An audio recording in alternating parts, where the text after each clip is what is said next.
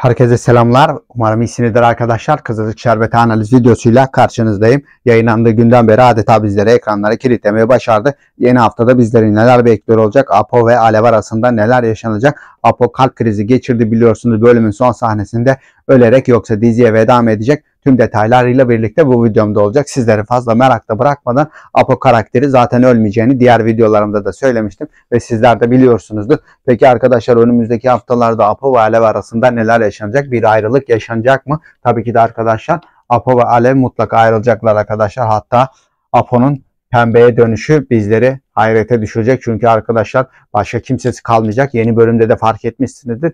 Alev'in Almanya'ya sessiz sedasız gitmesi arkadaşlar Apo'yu tamamen ortada bıraktığını fark etmişsinizdir ve önümüzdeki haftalarda tıpkı böyle olacak. Alev adeta Apo'yu bir yere çekti ve bundan sonra oradan zirveye bıraktı ve oradan aşağı bırakacak adeta ve hiç kimsesi kalmayacak önümüzdeki haftalarda ve pembeye dönecek yeni bölümlerde detaylar geldikçe buradan sizlerle paylaşmaya çalışacağım. Dediğim gibi arkadaşlar bu senaryo önümüzdeki haftalarda gerçekleşecek. Şimdi ise Alev ve Apo'nun Apo'nun arası gayet iyi olacak. Bunu da buradan belirtiyorum. Bir sonraki videomda görüşürüz. Sağlıcakla kalın.